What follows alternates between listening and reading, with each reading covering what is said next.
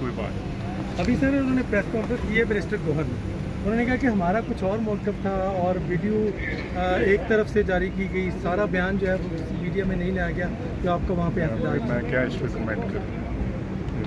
مجھے تو آپ کی بات کی سمجھ بھی نہیں آئی۔ میں نے کہا کل کمیٹی میں جو آپ کا احتجاجن واک آؤٹ تھا اس کو انہوں نے کہا ہے۔ نہیں دیکھیں نا ایک- میں میں میرا میرا موقف یہ ہے کہ کمیٹی بنی ہے ایک پرماننٹ نیچر کی کمیٹی بنی ہے جو بلاول صاحب نے جس طرح کو آئیڈیا دیا تھا کہ جو جس طرح ہم نے قومی اسمبلی کا جو ایک زبردست بار بار مدعو ہوتا ہے ہمیں ہوتے ہیں یہ سارا کچھ ہوتا ہے یہ جو واقعہ ہوا یہ بھی ایک افسوسناک واقعہ تھا۔ یہ سارے ساری چیزوں کو مینج کرنے کے لیے۔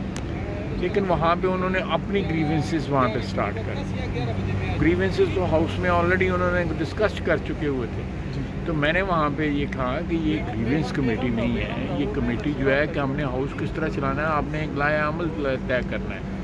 آپ نے یہ طے کرنا ہے کہ کن کی کیا اس کے جو لوازمات ہوں گے طریقہ کار کیا ہوگا آپ ادھر ادھر جو گھنٹہ سوا گھنٹہ ڈیڑھ گھنٹہ چلیے اس میں وہی کہ ہمارے ساتھ یہ ہوا ہمارے ساتھ یہ ہوا ہمارے ساتھ یہ ہوا۔ تو پھر میں نے ان کو کہا میں کہا یہ چار سال جو آپ ہمارے ساتھ کرتے ہیں اس کی بھی تو بات کریں نا۔ صرف اپنی کہانیاں نہ سنائیں نا پھر ہماری بھی کہانی سنیں۔ تو اس سے سارا میں نے پھر وہ میں نے کہا یہ میرے لیے تو یہ لاحاصل قسم کی بحث ہو رہی ہے۔ تو میں واک آؤٹ کر رہا پھر جو دوست یار جو پہ کوئی جب مولانا فضل الرحمان صاحب اور دوسرے لوگوں نے کہا کہ بیٹھ گیا تھوڑی۔ لیکن میں نے پارٹی کو کہہ دیا کہ آپ کسی اور کو میری جگہ بھیج دیں۔ میں اس کمیٹی میں نہیں پارٹیسپیٹ کرنا چاہتا۔ اچھا سر افغانستان کے حوالے سے وزیر اعلیٰ براہ راست رابطہ کر رہے ہیں۔ ان کی کونسل جنرل سے ملاقات ہوئی۔ خیبر پختونخوا کی کونسل جنرل سے ملاقات جو ہے وہ ان کا سواب دید ہے ملتے رہتے ہیں۔ سارے وزیر اعلیٰ جو ہے امبیسڈرس کو ملتے ہیں کونسل کو ملتے ہیں۔